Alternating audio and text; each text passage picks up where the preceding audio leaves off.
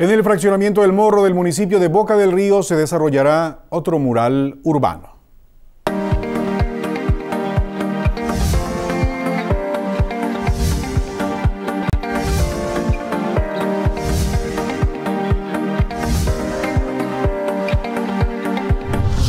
Mural urbano llenará de color las calles del fraccionamiento El Morro del municipio de Boca del Río.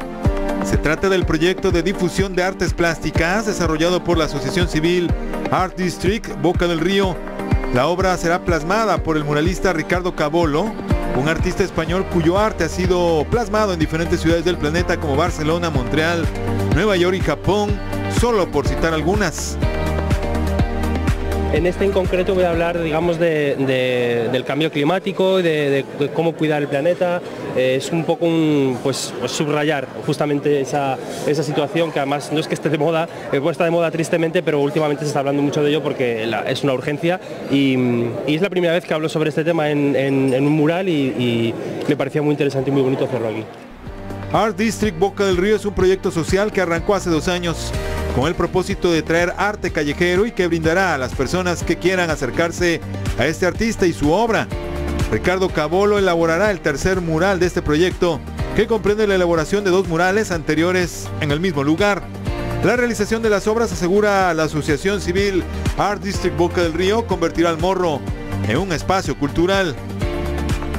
Y también la idea es hacer una aplicación donde la gente pueda recorrer el morro como un museo. Entonces van a ir pudiendo recorrer y el, la, la, aplicación les va a ir enseñando quién hizo el mural, cuál es lo, el objetivo de ese mural, qué mensaje tiene si es que lo tiene.